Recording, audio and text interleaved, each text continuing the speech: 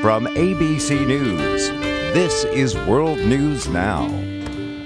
Good morning. I'm Sunny Hostin. Paula Faris is on assignment. And good morning, everybody. I'm Rob Nelson. Just a quick point of, of personal privilege. Scott, just bear with me for a second. I, I, just want to say this, too, that I read Twitter a lot and Facebook about what folks say about the show, and I know that a frequent comment a lot of the times is about, you know, the revolving door of anchors and what's going on, all the changes. And Thursday will be two years on the show for me. Yes. This Thursday, July 12th, is kind of crazy. It's been that long.